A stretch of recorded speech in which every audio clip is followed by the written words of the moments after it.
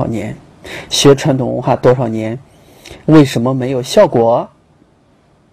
我们就拿着六把利剑对照自己啊，哪一块犯了，就要拿这把利剑斩尽杀绝啊！对自己的缺点要斩尽杀绝，哎，对自己的优点精益求精啊！这是我们应该要做的事情啊！所以这个是非常重要啊！家宅六神。居于家中，公司会居于公司，厂区会居于厂区。只要你这个地方一旦形成一个单元、一个单位、一个社区，都有六神。在家的灶神称为灶神啊，场地的呢？称为灶君，它权限不同，职位名称不一样。要是一个社区、一个政府，像乡政府、县政府居住的，就称为灶王了。啊，也是土神啊，土地土王，它分三个层次啊。就像我们说的县长、市长、省长一样，哎，他所管的地方他是不一样的，啊，我们家里的级别算是最低，啊，那这些神的形成啊，也是因为中国啊，百家齐名，各种文化都有，也是老百姓呢积累了几千年的民俗文化，也是民间信仰，对人生的作用大不大呢？非常大。那有没有呢？哎，我可以告诉大家一个例子，我亲身经历的。大概在这个，应该是在九五还是九六年啊？这个很有意思啊。我们大家也可以认为我把眼睛看花了，因为我经常呢过去，这个老觉得自己眼睛不好嘛，家里人老找医生给我看病。说我眼睛不好，啊，经常性的给家里人还讲故事，说我看见这了，看见那了。最后医生说我是幻觉症，啊，我就遇到了一个例子，什么例子啊？我们在眉县去周至县一个朋友介绍的朋友家里，啊，去他家里做客，刚走在他门口啊，好像是眼花一样，就看着他门口。一米的这个位置呢，那个地方突然间就显现出来一个人，就和咱们电视里面看到那土地爷一模一样，一身黄衣服，还拄了个龙头拐杖，说话结巴，哎，就结结结的说。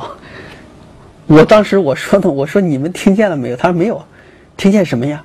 我说你们家门口一个老头跟我说话的，他们把我看一看，光笑，说谁呀？说什么话呢？我说人家说了，让我来你们家，今天中午不许吃饭，不许喝水。他们也觉得比较惊讶啊。说完就去他们家了。我说不行，我来的时间那老头就说了，不让吃饭，不让喝水。我在他们家一口水都不敢喝，一口饭不敢吃。他们家人就觉得很奇怪，说我以为你开玩笑呢，真有人跟你说了呀。我说可能眼睛看花了，耳朵也听瞎了，可是呢，好像很清晰的。很清晰啊，就是给我说别喝水，别吃饭。所以我想了想，这不吃不喝也饿不死，渴不死，我也就别吃了。他们家老认为我开玩笑，最后跟我说：“秦老师啊，是不是我们家哪儿做的不对呀？你心里不舒服，所以也不吃也不喝。”哎，我就把这个事情给他们讲。讲完以后，他们家人啊，恍然大悟，说了一句话。哎呀，我知道你说这个话是真的。我说怎么了？说那有可能就是我们家供的土地爷。啊，你可能呢来我们家呢，我们有问题想问问你。我们家土地爷不让你吃我们家的饭，喝我们家的水，可能与我们家得了一种传染病有关系。我说你们家得什么传染病？他说我们家五口人四口都有乙肝。哦，我最后才知道乙肝是唾液可以传染的。哎呀，我当时就比较惊讶啊！我说呀，这眼睛没花，耳朵没聋，没聋啊，这应该是真的啊！这徒弟也给我报告，不要吃饭，不要喝水，怕我传染上乙肝啊！原来是这样，为那件事啊，我最后去做了一次体检，让人查我肝功，人家就说了，哎呀，说你这个肝功和别人肝功不一样，没有抵抗力，你要打打乙肝疫苗。谁料去打去打了一针，还这个呃乙肝疫苗还过敏。就打那一针，下来那两针再没打。据说好像说是什么一个月打一次，半年打一次，还一年打一次，我就再没去过。啊，所以这是我经历一次啊，这个也比较神奇的事情啊，可能是土地爷报信啊，我认为是土地爷啊，具体是哪位神师不知道。你让我现在要想起来，那肯定是眼睛看花了，那耳朵听乱了，哎，可是那个信念里面非常真实。还真是没吃饭没喝水，谁知道他们家就给我讲，他们家一家五口，四口都有乙肝，哦，这是我经历的，所以至于他是真的假的也好，我经常在讲，你信了就真，你不信他也真，啊，我们完全可以把它把它当成故事啊去听，啊，这个也是非常真实的。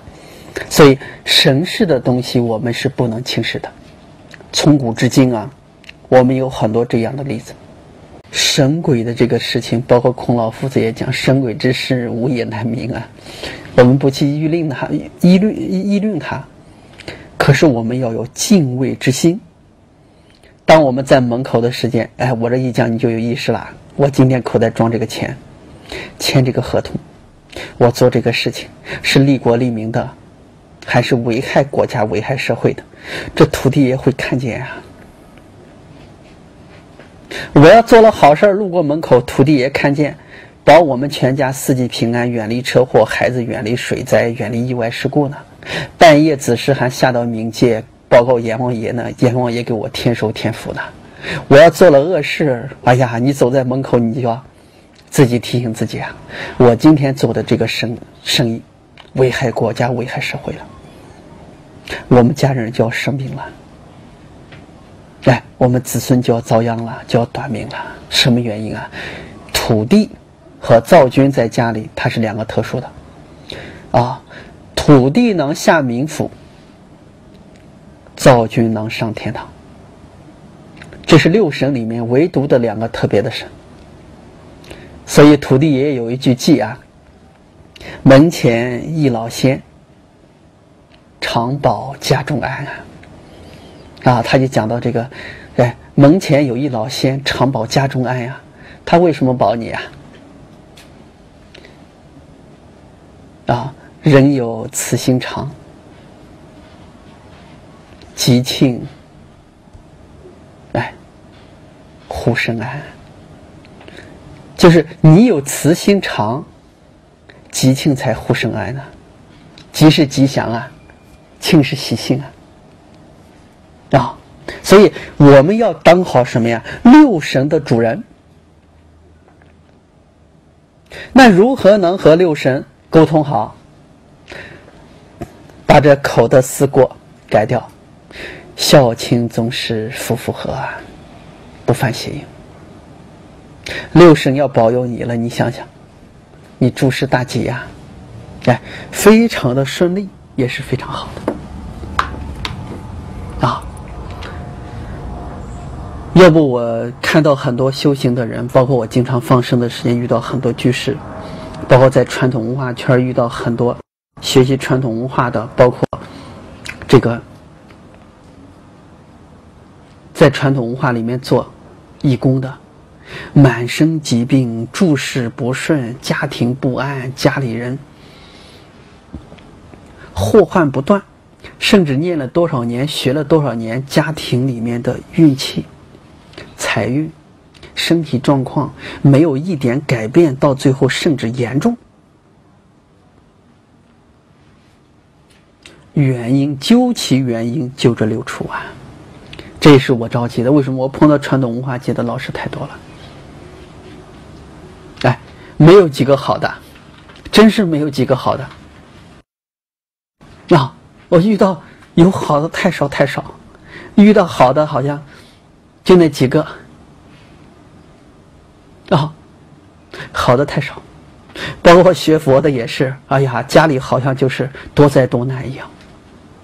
很多人呢还找个借口，哎呀，我这有冤亲债主啊，哎呀，我这是宵夜呢，好无奈呀。你这一学佛学的冤亲债主来了，不学还没有。我说冤亲债主也好冤枉啊。你明明你自己做的不好，你自己连你的口业都改不了，是不是？对父母又不孝顺，对老师又不尊敬，哎，贪嗔痴慢没有一点消除。反而增加。过去不拜佛还好，现在一拜求一大堆，你看贪念重了没有？过去不念佛还好，现在一念佛，口才锻炼的特别快，骂人骂的有很多。我们自己没有认识到自己的错误，没有认识到自己的缺点，反而把我们的这个罪责推在谁身上？都怪冤亲债主。啊，都是你们捣乱的。我经常在讲，念佛念的佛没来，菩萨没来，冤亲债主来了，我们可想而知。我们念的是冤亲债主，哪念佛了吗？我们大错特错呀！啊，就像我刚刚给大家讲的例子一样，人家那人刚想到我不吃不再吃牛肉了，戒坛菩萨就来了。啊，我们学了这么多年，菩萨没来，罗汉没来，鬼来了。我们想想，可悲呀！要不然就说呀，我这业障重啊！哎呀，我这生病为啥生病消业呢？完全是胡说八道啊！啊我们错了。我们现在很多人，我们把所有的佛经、圣贤教诲展开，我们看一看，里面全是正能量。啊，你看，我们看《无量寿经》，是不是？哎呀，黄金为地呀，玛瑙为国呀，遍地黄金啊，简直富到那种程度。我们把四大菩萨看一看，除了地藏菩萨呈现的是出家相，其余菩萨都是金银满身啊，富贵到极处了。我们学的可怜巴巴的，什么都不顺利，甚至生活。都无着落，我们错了，我们大错特错，错在什么地方？不能善护口业啊！所以《无量寿经》上讲到善护三业呀，把第一句就讲到善护口业，不及他过，把口业放在第一位，道理就在此地啊。我们就知道这口业的毒害有多重。当你张嘴闭嘴说都怪冤亲债主的时间，也是造口业了。冤是谁呀？冤家呀！你过去对人家有意见，这是欠人家钱没还。主是过去你的主人，你当奴仆的时间没有尽职尽责当好仆人。亲是亲人，冤亲债主他是个总名号，他不是一个人，不是一件事啊。冤有头，债有主啊！既然能找到你，你想想，你念佛念的把他们都没渡走，他们还来障碍你了，证明你没念佛、没修行嘛？哎，这是我们错了，这个是非常可怕的事情啊！所以我们看到经典上面讲的全部是正能量的东西，我们宣传的都是什么负能量的东西？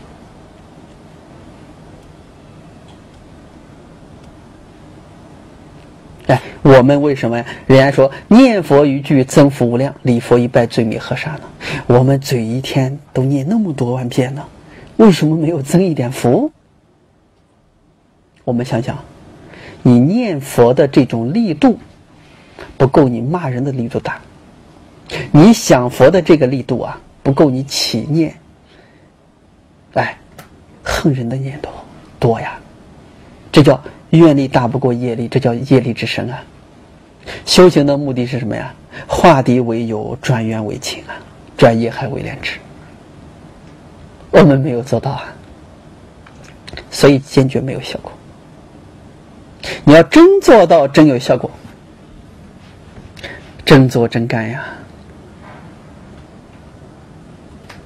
啊，这才是我们真正应该做的事情。要不很多人都问我这个问题了。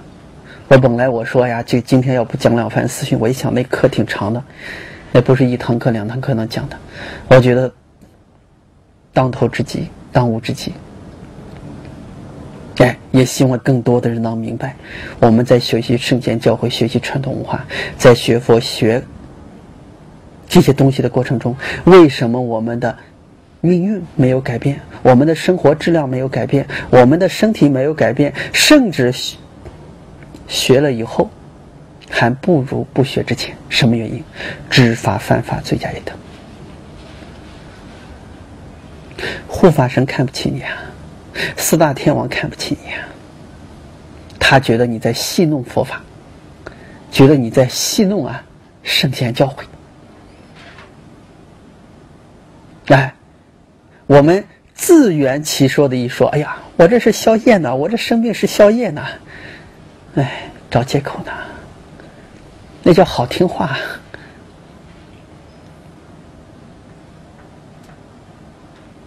真正究其原因，我们没有达到三善：第一口善，还犯了四种口过；第二行善，杀盗淫妄，杀生、偷盗、邪淫，生恶一点也没有断。第三行善，怒恨怨恼烦啊，没有丝毫的点弱。三善不具备，三恶具足，贪嗔痴，福禄寿既然就没了，戒定慧也就完全失了，那我们肯定就是三恶道的三途之苦啊。